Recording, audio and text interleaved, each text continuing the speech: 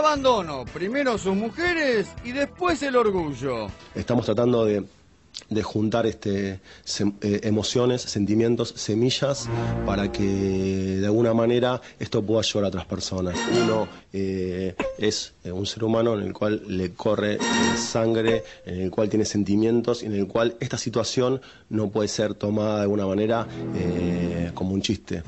Club de hombres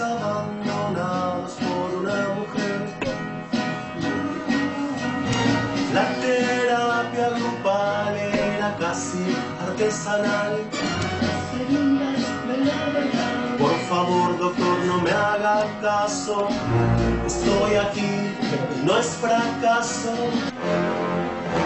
Cuanto más ordenada esté tu vida, desconfía. ¡Qué alegría, qué alegría! Gurí